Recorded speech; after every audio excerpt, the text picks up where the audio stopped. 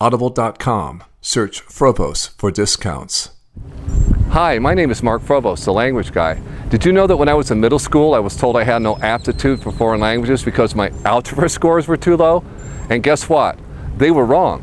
Spaliaron, se equivocaron, y se son trompés. Why? Because now I speak seven languages fluently, and I can teach you how to do it too. Just watch my free videos and learn how.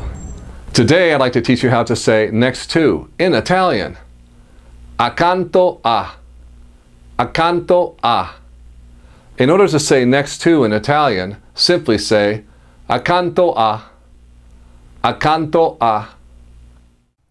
Audible.com. Search Frobose for discounts.